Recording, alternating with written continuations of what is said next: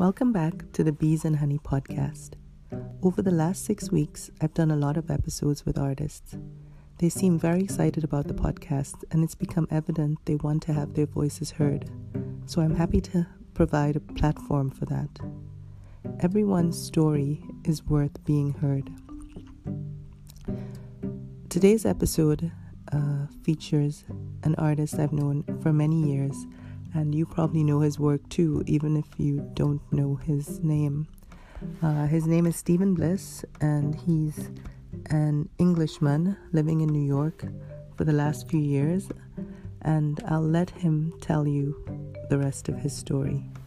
Enjoy, Stephen Bliss.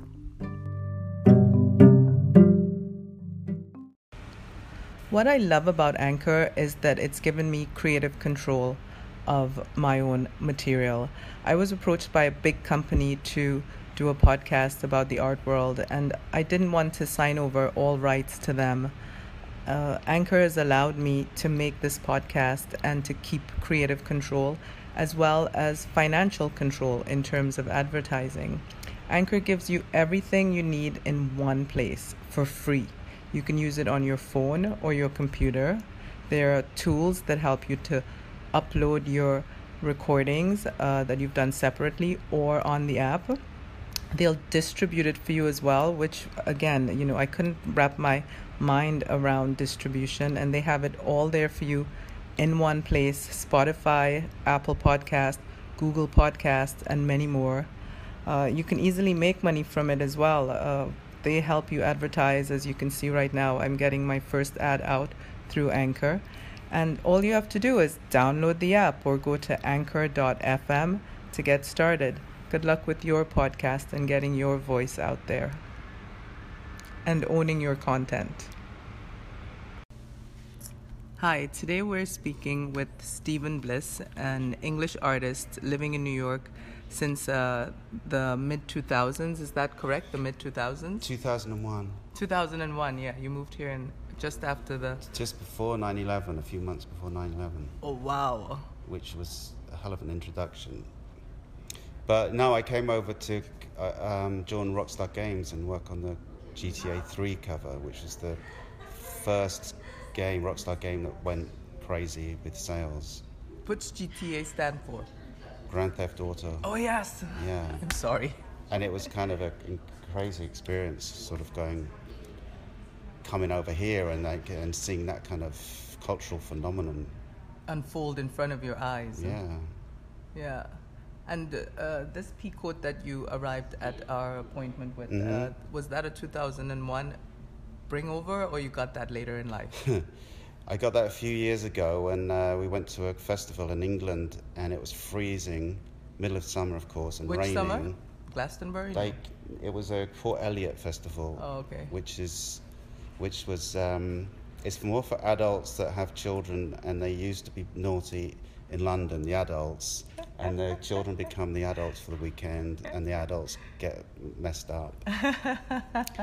so uh, I found that coat um, covered in dog hair in the back of a car, and I'm like, I got to wear something. I got to keep warm. So I stuck it on, covered in hair, and like it, it it's like I'd never had so much interest from girls from wearing that coat. I don't know if it was like uni- the uniform. Mm-hmm. It's Or just what? it's just so uh, well tailored. You can see it's well made. It fits you perfectly. The color is beautiful. The buttons are shiny sailor buttons. I Mhm. mean, it's it's it's it's a gorgeous piece. But Well, I'm, I'm come from a naval family as well. ah, So I was born in Portsmouth, mm-hmm, which that's is in the south. very south. It's where most of the ships were launched to take over the world with, uh, during the British Empire. Oh, okay. Not that I had anything to do with that. but I was supposed to become a uh, join the navy. Fortunately, my art teacher told my parents that I could actually make money from doing art, and art school back then was still considered. I don't know, rad- radical, full, full of communists Yeah, yeah. and uh, people who are never going to make any money. Right. But there weren't the opportunities around like there are now. Well, I could totally see you in the Navy, to tell you the truth. I mean, your build, your face, I think how you carry yourself, you, you have that uh, I I- military presence. Thank you. Well, that's a, com- a good compliment. Yeah. I, I'm glad um, that comes across. Um, I would have been retired by now, though, if I joined the Navy. My brother retired at like 50 and he's like living on a really good pension. But anyway, Oh, really? you know, I'm, I'm glad I'm an artist. Well, I think you uh, pretty much became what you probably were going to be, anyways. And uh, you might uh, not retire, but you might live longer. I mean, I'm not sure why people retire, but they can have well, fun too. I would be doing what I'm doing right now if I had retired. Exactly. So tell us again, uh, you were in school, and that's how you started with art. Like, when did you figure out that this was uh, the path that you would follow? Like, how old were you? How did that develop? Well, I'd won art prizes, you know, like a box of chocolate bars when I was five and eight. I won a won a competition for drawing a picture of Margaret Thatcher, and previous to that, when I was five, I I think it was a giraffe I drew, and I knew that maybe I had some kind of talent. But it was comic books like Spider-Man and Daredevil that inspired me to start copying those panels the comics and try and get better. And that went on, and that can, you can see that influence in the rockstar work that I did, Grand Right. Auto work, Right. with the black outline and the flat color. Mm-hmm. But the thing that really set me on the path was punk. British punk was like 60, uh, 76, 77. I was about 14. And when that came, it was like a huge cultural explosion that influenced thousands of kids to form bands. I formed bands and I started designing the posters to advertise the bands.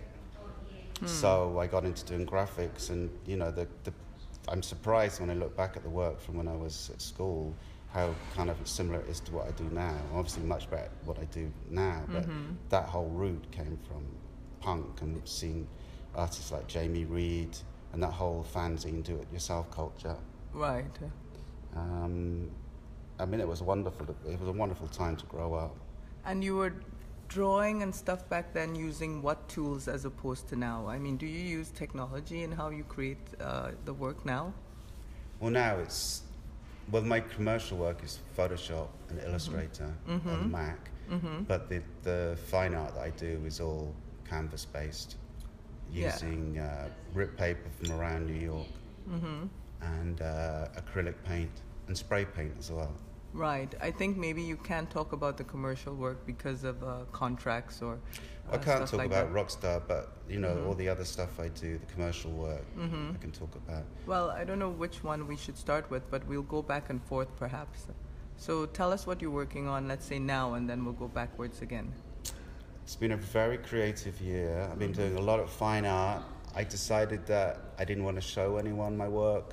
I just wanted to get on and, and do a, a really good body of work before I even showed anybody. So I've been concentrating on that for a long time. Uh, I don't know, eight months or so, and it's been fantastic. So you have a studio and you're working there uh, pretty much every day. Yeah, And where's the studio? in Park Slope. Oh, okay. Um, what else? So, commercial work. Like, I'm just got a couple of watches being released by a company called Undone, which is a collaboration with Monopoly, the board game Monopoly, Mm-hmm. which I love because I still play Monopoly with my son, ten-year-old son, Mm-hmm. and he's so good at it. I'm hoping he'll become some kind of real estate mogul as opposed to an artist. Um, he always Yeah. bankrupts me and my dad. He's really good. Yeah, I Um, mean, hmm So doing the two watches, that I Yeah. mean, you know, anyway, Monopoly, I like that. What else am I doing? well, what, what, how does that work? Like you design the watch or you drawn something? Like what is it uh, looking like? What did you do for that collaboration? They wanted, the company wanted the Uncle Pennybags, who's the traditional old guy in the top hat, Mm-hmm. as a gangster. So I drew Uncle Pennybags holding two money guns. Money guns are the new thing I think that rappers use, where they you fill it up with hundred dollar bills or hundred single dollar bills, and you shoot them into the crowd. So you've got these guys jumping up and down, like you know, grabbing at dollar bills. Supreme have just released one. um, Yeah, I, I'm so out of it. I've never seen anything like that live. I mean, I think I've seen it on videos or Yeah. stuff like that. Yeah. Um, what else? And then a, a sexy pin-up girl that I guess is his girlfriend or something. mm-hmm. So I painted those and they put them onto the watch faces. And when is that going to be launched? It's end of November. End of. November. All right, so a little while still, uh, maybe a couple weeks.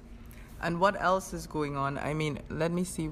I think I asked you this already about how you grew into an artist. So, what brought you to the USA? I guess it was Rockstar Games. Yeah, I knew Sam Houser from London. He used to do clubs in London that I used to go to, and Mhm. um, he he knew my work. I did a cover for Massive Attack, Mm-hmm. and he knew that. And he asked, he said to me, he came around to see my work one day and said, "Could you do something like that for me for Rockstar Games?" Mm-hmm. So it was amazing. I mean, I flew over here to work for them, and they, they were really good. They put me up in a amazing place in Gramercy Park, and Mhm. I just thought, I'd, you know, I'd made it. You know, it was, and stayed there for 16 years. Wow, wow. Yeah. So, what was the cover for Massive Attack? You said. Massive Attack versus the Mad Professor. So it was a, it was no protection. It was a dub version of the Protection album. Oh, okay. and it's a fight scene between the Mad Professor, who's a uh, dub artist from the 70s. Mm-hmm. He's an icon of dub reggae. Okay. Um, him towering over a city, fighting Massive Attack as cartoons, and they're also fighting like ninja robots and and, and you know. Okay. It's a comic book. I'm gonna have to look for that. I mean, I, I somehow didn't, I can't remember what that looks like, but I'm sure I must have seen it at some point. Um, I think we met when you were at Rockstar, and I wanted to ask if your work always involved these characters drawn in the format of comics, or if they are coming from real uh, people. Are these imagined people or real people, like that you used in your commercial work and also, I guess, some other stuff that you do? Well, you said for Monopoly it was imagined characters. So what about the other stuff? Did you make those people up in your head? Well, the Rockstar Like Grand Theft- characters, yeah, Grand they Theft came guys. from the games, and sometimes I would imagine them like uh, Lollipop Girl is based on Jane, my right. ex-wife. Yes, yes, yes. So a couple of them were real people, but Mhm. mainly they were they're based on you know the actors that actually form the characters within the video game. Right. Okay. But since leaving there, peop- people will uh, that people commission me to do like the guy who owns Kith, for example. Nike want a portrait of this Ronnie, can't remember his surname. So that will be in the kind of like influence of Grand Theft Auto. oh, in I the did same quite a lot for Nike actually of, of personalities for their online website. Um, people that wear Nike stuff. oh, Um, okay. what else? Yeah, and I did a campaign for Wicked Beer, which is all kind of like um, cartoon characters that they animated. Yes, I remember uh, seeing stuff like that from Wicked. I mean, I didn't know it was you, but I remember Oh, yeah? what it looked like. Yeah, because I, they used to sponsor some events or stuff that I did in the All past. Um, some of your uh, what I don't know how to describe it, but uh, the collage stuff on canvas. Uh, I guess it's sort of like a poster work, the repurposed posters. You want to tell us about that? Yeah, so I've always loved that the, the, the decaying walls where people you are posting up illegal posters, advertising posters around cities, and then people would just walk along and start ripping them down. And there's this beautiful thing that comes from layers of graphics coming through, and it's almost like historical documents um, of different graphics and different models from different eras, if you can find a good batch. Mm-hmm. Um, and it was one of the most beautiful things about New York for me was was just walking down the street and seeing it. It was almost like an or- organically developing every day because they're illegal, so the people that own the hoardings will paint this green paint over them, but some of the faces will come through from the models, and I call them like grease, uh, green ghost pro- uh, portraits because they look like disembodied ghosts, Right. Kind of just coming through the weaker bits of the green paint. Yeah. Um, I did a TED talk on it as well, but it's you know like it's very remin- reminiscent of Rotella. Yes. Mm-hmm. But I did actually didn't come to Rotella until After you were doing it. That happens sometimes. and the, yeah. and what happened? I had to do this TED talk on the, the we call, I call them palimpsests because Mhm. it's the layers of historical documents. Mm-hmm. Um, I had, and uh, so I had to read a lot about Rotella. I wanted to understand why I was doing it more than just for the aesthetics of putting grit paper on a canvas. It's like, why am I actually, do I love this? And one thing I mainly got from Rotella is that he would cut a section out of a billboard in, in I think, Milan Mm-hmm. and put it straight onto the canvas.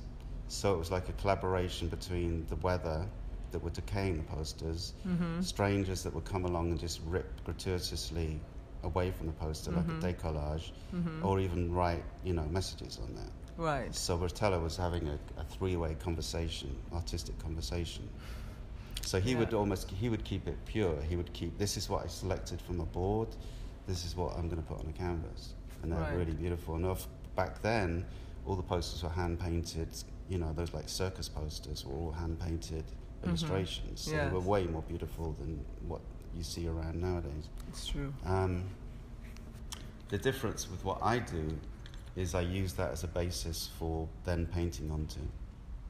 Then painting onto So I use Okay. like, um, the posters layered, and then you paint on top of that. yeah, Oh, okay, right. Is that what your new work is looking like too? yeah. Okay. They're, um, I mean, you, if, if for want of a better reference point, Mm-hmm. that what I paint is very in the style of Grand Theft Auto, Mm-hmm. but more idiosyncratic, more kind of like weirdos. And um, I take a lot of pr- old vintage advertising and Mhm. mix up the slogans with some of the images. Right. for like to I, I like I like to think there's a lot of humor in my work. and Yes, yes. I have to see uh, some of the new stuff because I I didn't ever see things in person, just from what you sent Yeah, or what was online.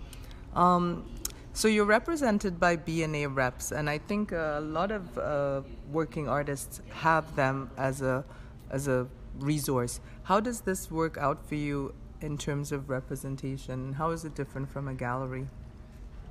Well, with B&A, they have brought me a lot of work over the years, the commercial work. Mm-hmm. And whilst I'd predominantly like to be doing my own work Mm-hmm. and not have anyone else's idea anywhere near me, not only is it bringing money so I can do my own, have my own indulgence with my own art, Mm-hmm. but sometimes when you're in your cave, your artistic cave, and Mm-hmm. you're like, the world's out there and you like haven't got any feedback for a few months. It's nice to think that someone out there actually wants you. Yeah. So I'm like Yeah. actually grateful to to get the work from someone. Um, Mm-hmm. and it really challenges me as well. I have to do things I, I don't didn't think I could do. You know, if I get a brief, I'm Yeah. like, how am I going to do that? Yeah. And then I have to do it because I You said I figure would. it out.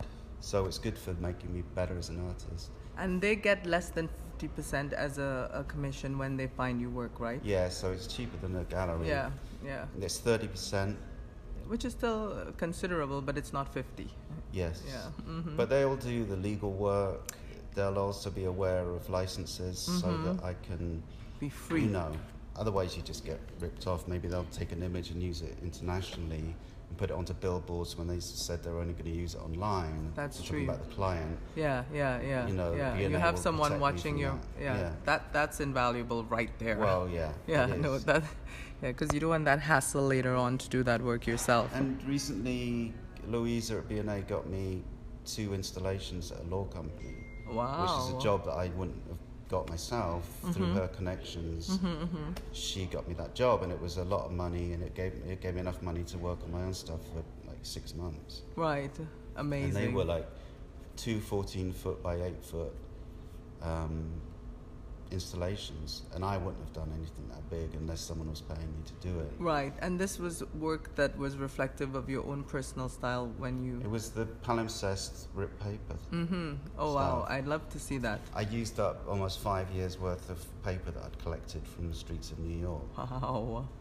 Wow. I, the whole studio was full of these panels that I was working on. It was such a challenge to balance that kind of chaos of, Yeah. of colours and shapes and graphics onto Yeah, yeah, a yeah. 14 foot billboard. Wow. Wow. Oh, and God they really her. liked it. You know, when I when I d- delivered it and put it up, Mhm. I thought they're going to tell me What is this? they get what they're going to say. What is this? Get rid of it because in the contracts, like if they didn't like it, they could give it back to me and not pay me. Oh. So I was like, all right, well, I didn't make any money from that, and then um, they, you know they're going to say, what do you want me to do? What you know, and I'm going to say, well, just stick it in the garbage. that they loved it. And, Thank God. And it's just a, a good reflection of how you, as an artist, you can just sometimes think you're not very good at all. Yes, I think uh, you go through that sort of insecurity. Yeah, Well, absolutely. Well, I'm glad I'm they sure liked it. Healthy or not. I think it's human. I don't know if it's healthy, but it's it's uh, definitely something human. Um, what is the next question here? I was gonna ask this, but I think you answered this, this already. What do you do when you are not working on a creative project for hire? You just work on your own stuff. Yeah. Well, what about the family life? That's what I want to know about too, because I know we spoke a little bit before we started recording. But um, does your son show a certain interest in this creative stuff? I know you want him to be the real estate tycoon, but but uh, I would. I want to save him from a life as, as being an artist. I mean, it's fant- I got it's fantastic being able to wake up in the morning with enough money in the bank to work on exactly what I want to and experiment. I mean, it's nothing better than that. yeah, And yeah. I, I do that 14 hours a day if if there's a, you know I don't have to do freelance work. right. And I'm uh, you know and I I think I'm a I'm a good influence on Alexander, my son, Mm-hmm. in that if it was if he had a different father, maybe he would be just playing baseball. Maybe he would just be into like hunting. I don't know, but it's amazing. I think that he can now walk past rip posters in the street and see why that's actually interesting to look at. Yes, yes. And it just makes the environment he's growing up in that much richer. Well, I think as well, uh, just the idea of seeing these things, like, uh, you know, because we walk by these things all the time, but how many of us actually see them? So you're training him how to look Yeah, at absolutely. the world. Um, also, I've always used the word design with him since Mm-hmm. he was a little kid, so that he's conscious of good and bad design. Right. Um, and now, you know, when he was like five, he was saying to me, "Daddy, I think you'll love this cartoon. The characters are really well designed." You know, and it was so good to hear that. Again, it's like if you can appreciate the, the objects around you, Yeah. you're making your life richer. Yeah, We need all like we yeah, can get in life to make it better and richer. Yeah, yeah, yeah. And just to get through But the slog of it. He's just only really just got into drawing passionately. He he now gets up in the morning and he'll draw and draw and draw, and he'll go to bed with me saying, "Come on, you've got to get to bed," because he's so passionate about drawing, and it's wonderful to see that because it's only really happened in the past few months. Wow. Previous to that, he was completely nuts about sculpting. I think he's actually going to be a sculptor or an engineer because he loves building. Mm-hmm, We went to we went to Pratt yesterday, Mm-hmm. and I've never seen the grounds there before, and it's full of beautiful uh, sculptures. Sculptures, right. And he was completely blown away by it. How So old I- is he now? Ten. He's 10. Wow. So I can see I can see him doing that. But I do love the feeling of, of having that kind of influence on on him that may not have existed if he had a different dad. you know? Yeah, yeah, interesting. I mean, I love the idea too in kids about uh, them developing from a source which we have no knowledge of. It, it just being in them, even if we weren't around to bring it out in them. Does he go back with you to England sometimes, or do you guys? We go back once a year. We should go back. Um, this year we're going to go again at Christmas. So my parents are getting much older now, and you know, in fact, he said he said to me like, "Let's go home for Christmas because you may not see your parents again," which I thought was really uh, Perceptive. perceptive of him. Yeah, yeah. And quite empathic as well. Yes, yes, yes. And he likes it down there in Portsmouth. We actually will go up to Shropshire. and My brother has a farmhouse up there. Oh, okay. That And, sounds um, nice. hang out there. Yeah, I'm not sure if he. I think you know he does love getting all the presents. You know, he's getting two Christmases from Yeah, yeah, yeah. my ex-wife. Yeah. Then he goes to England, gets another Christmas. Yeah, yeah, yeah. It's he brilliant. gets like three movies on the plane, Yeah, yeah, yeah. and he, he you know, he, he gets all the perks that he doesn't get here. Right. So, what would you say is your next step? You have this work that you you've been doing over the last few months. I think you said eight months. So, what's the next step with that work? Well, I've been doing that kind of work for about three years now since leaving Rockstar, mm-hmm. and I've had shows, one in LA and one in um, where was the other one? England, in London. Mm-hmm. So I want to get a lot more shows. I want to get a decent gallery to represent me, Mm-hmm. which is why I need a very strong body of work, Right. something I can be proud of. Yeah. And I'm, proud of my previous work, but Mm-hmm. I just wanted to get better and be something that could be branded by a gallery to take it to the next level away from being labeled as street art. You know? Right. No, because it really isn't street art. But which galleries did you work with in LA or in England? I mean, I don't know how long ago was that. Well, LA was um, Monarch's Gallery, which is owned by a guy called Terry, who represent. He, he owns a company called Secret Walls. Mm-hmm. Secret Walls is, is, is a live art battle Mm-hmm. where two teams each get a canvas, and you have like f- anything from three to ten artists Mm-hmm. on each team painting over a two-hour period with a crowd watching them do Mm-hmm. the live painting. At the end, one of the teams wins and he does this internationally. And he just opened up a gallery. We opened it up in 2016.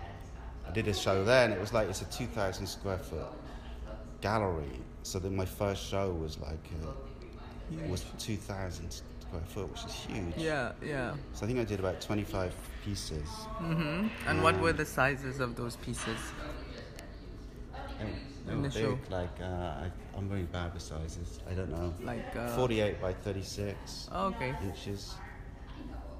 And who else is in his gallery? Like they're all street artists and inverted commas. Well, they're or- all street artists. I don't know who else he, he's uh, shown. Oh, okay. Pose was after me, I think. Uh huh. I don't know who else, but that kind of street artist. Right. And then in England was the um, West Bank West Bank Gallery. hmm Which is what city is that in? That's in London, in Notting Mm-hmm. Hill. Oh, okay. Again, it's street art, and after doing that show, I'm like, I got to be really careful who I show with. Yeah, because you don't want to be in that uh, It's category. really, it's really not- easy to be swallowed into that street art thing, and no one above that wants to really represent you. I don't think.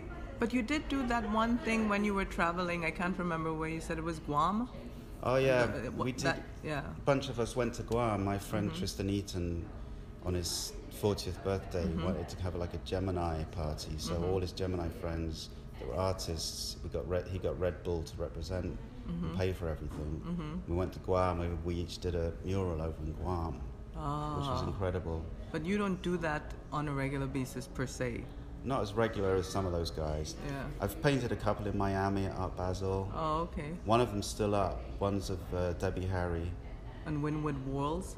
Wynwood, yeah. Oh, okay. Another one was the two girls kissing, Uh-huh. which I was actually warned that the, the guy who owns the wall didn't want me to paint two girls kissing because I know he's sexist or something. Uh-huh. But I painted it anyway. I think I had my head in the sand. Right. First night it was actually bombed by some other artist, Ugh. which is really annoying. Annoying. Yeah, and he just he tagged over it. But then I don't know how f- uh, how long it was up because the landlord I don't know because I obviously left up Yeah. Basel and then it was buffed last time I saw, Ah. which was a shame. well, but anyway, it's good I to mean, have the record of it. yeah. At least you have the record, and theoretically, this is part of the ephemeral nature of that stuff, anyway. yeah. So, I mean, you know, unless we break the wall down and then put it in storage, like some people do with Banksy's work, Yeah. it always then disappears. And I've done one up at the Miami Ad School up in Queens as well, which is a huge collage of different couples kissing, like gay kissing and women kissing down on men, and the, the old patriarchal system of the man kissing down to the woman. Right. So I did a whole series of kind of like breaking that old patriarchal romance uh, dynamic Right. from all the old romance comics, you know. I wouldn't mind seeing that, to tell you the truth. I mean, I, I just because I mentioned Banksy before, I remembered uh, he did one with these two policemen kissing or stuff Oh, like yeah. that. So that's also feeding into the similar sort of energy of the work that you were doing. Yeah. I wonder if it was at the same time as well. Well, are there street artists who you uh, looked at and who you think uh, influence your work at all? I mean, since we came to this, I mean, I never thought of you as a street artist, but I realized that some of it has translated to walls or whatever. But Well, Tristan Eaton's a big influence and a good friend, and his work is just incredible, and he's so fast. I guess the, a lot of those guys in the early days had to avoid being arrested, Yeah. so they all learned to paint really fast. And, you know, he does incredibly beautiful, large, um, uh, you know, murals. He did, just did a whole series of monsters for Universal Studios. Mm-hmm. That that's going to be up there forever, you know. Um, who else? In LA, Universe. Yeah. Okay. Wow. I love Insa's work as well. He does those animated murals where he'll paint a wall, photograph it, paint the wall in uh, basically he'll paint the wall like a hundred times and each single photograph will make up an animation, Wow. which is an incredible amount of work. That- I can't even begin to Yeah, imagine how you should look at that's his taking. work. Okay, I'll look for Insa. Uh, maybe not right today, but uh, in the next few days. But they're getting increasingly ambitious. The the wall art that you see around Mm-hmm. internationally now, and it's a very lucrative business now. Right. I was recently looking at this other street artist. I guess he's called JR, the Yeah. French guy. I mean, he has a solo exhibition at the Brooklyn Museum now. Yeah. So I mean, the crossover is real. yeah, he did the murals on the Mexican border, didn't he? Yes, yes, yes, yes. Well, I mean, in the next few uh, years, I guess we'll be seeing more stuff like that going to auction too. Because recently, I don't know who bought it, but Banksy's work was again selling for a ridiculous amount at Sotheby's. So uh, maybe it's not such a bad thing to be in the street artist uh, milieu or. You know, I'm really, I Gang. get really tired of people at parties saying, "I could have bought a Banksy for five hundred dollars," and I'm like, "Oh, shut up! You're like the hundredth person said that. Yeah, I actually yeah, could have yeah. bought one for five hundred dollars myself, Yeah, yeah, yeah. but it was like it's just monkey sprayed on a canvas. I'm not paying five hundred for that. Right, But right, course, right, you know. right. I mean, at the end of the day, I love how uh, Banksy's just making fun of all of us. Uh, like we're all monkeys, you know, just sprayed on a canvas. His uh, shredded piece of work at the gallery yeah, at auction. yeah. He's a genius, that guy. Brilliant, brilliant. Yeah, Yeah. brilliant. I wouldn't mind finding out. Actually, you know what they said? He's one of the guys from Massive Attack. No, He's not. Yeah, that's just a story. Yeah. If the uh, Dee from Massive Attack came to one of my shows, and Mm-hmm. there were a couple of big Banksy fans, so much so that they. One guy had a whole arm of all Banksy artwork. His whole, uh, Tattoos? Wow. And he like he got it out in front of Dee, and he's like, "Look at my arm! I'm covered in Banksy's." Looking at him like Dee was going to be like, "Oh wow, well, I'm really grateful about that." He didn't say anything, but it was like, "No, it's not. It's not him." Right. But I could show you a photograph afterwards, and Right. you probably wish I hadn't shown you Yeah. because it's better that he's anonymous. Mm-hmm. Because he just, he, you know, he's a regular-looking guy. right. I don't know what people expect. You know, like he, he should have horns and. I don't know what they would expect. It's the fact that he's just hiding or it's hidden is uh, makes him just even bigger than you know. Uh, uh, if we had seen what he looked like with horns. But the, you know, the papers needed him to be anonymous. They must have known years ago, who he actually is. But without his um, being anonymous, they yeah. wouldn't have a story. Right. Everybody knows who Banksy is. I mean, I don't think there's any artist in the world that's ever been as recognised as him. Yeah, yeah, yeah. Not at this time, at least. Um, recently, I was looking at uh, Damien Hirst's uh, Instagram, and I thought, well, he's uh, gotten pretty quiet these days in terms of what people are talking about, but he, he's still doing his work. And you know, I, I like the idea of having an art life as opposed to just an art work. You know, he's still living his stuff, going his crazy way, doing. Yeah. I mean, you know, everyone has their 15 minutes of fame, as Warhol would say, I guess. Uh, anyways, well, I think uh, we can probably stop here. I don't know if there's anything else you want to add before uh, we go. If there's Um, something I didn't ask or. I could say else? my Instagram tag. Oh, yes, please uh, do. At Stephen underscore Bliss. Stephen spelled S T E P H E N. Bliss as in happy. With an underscore in, in the middle. Yes. Okay. Stephen underscore bliss on Instagram handle. And I hope I'm following you already. If not, I will do that now. but thank you for being here and thanks for sharing all your wonderful ideas. And I hope we can see some of your work soon. Me too. Thank you for Yeah. asking me. You're welcome.